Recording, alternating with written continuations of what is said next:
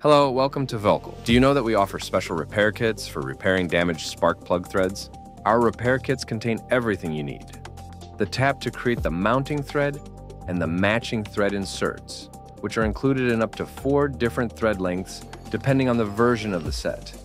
The two-stage tap removes the old thread from the cylinder head and cuts the new holding thread at the same time. The tap has a 16mm hexagon, which allows it to be used with standard sockets without the need for a special holding tool. Cutting the mounting thread is absolutely effortless with the tap. It can also be operated with a conventional ratchet if space is tight on the top of the cylinder head. The mounting thread is finished and ready for fitting the spark plug with the thread insert. A thread insert of a suitable length is screwed onto the spark plug, which is then screwed into the mounting thread and the cost-effective repair of the spark plug thread is complete. Don't forget to subscribe.